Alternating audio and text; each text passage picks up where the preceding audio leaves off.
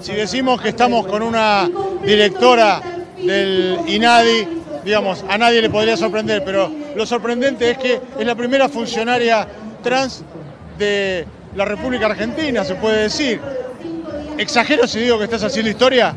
Ah, estamos haciendo historia justamente con este gobierno nacional, popular, feminista y con una perspectiva de género como ningún otro gobierno lo ha tenido. Hoy junto a la compañera Alba Rueda, que es eh, subsecretaria de Diversidad Sexual, seríamos las dos primeras funcionarias del gobierno nacional eh, trans. Ornella Infante, no te presenté. Bueno, contame tu sensación frente a esta gran convocatoria.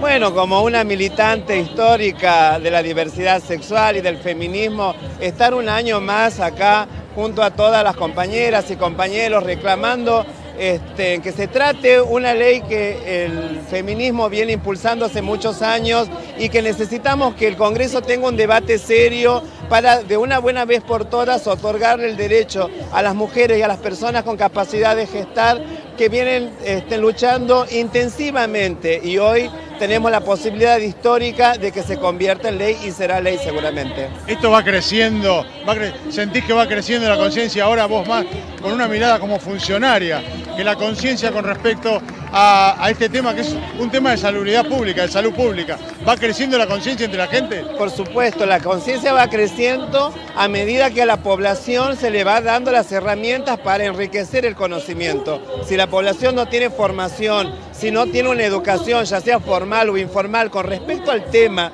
que se está tratando, es muy difícil. Por eso, desde el Gobierno Nacional impulsamos la creación de diversos derechos y la promoción de estos derechos para concientizar y también para defender. Nadie defiende lo que no conoce, nadie defiende lo que no ama, por eso es importantísimo que la sociedad conozca sus derechos como también sus obligaciones, por supuesto, y de esta manera derribar las barreras culturales que nos imposibilitan a diversos sectores de la sociedad a tener una agenda de derechos consagrados como lo tienen el resto de las personas. Gracias, Ornella, muy, muy amable. ¿eh?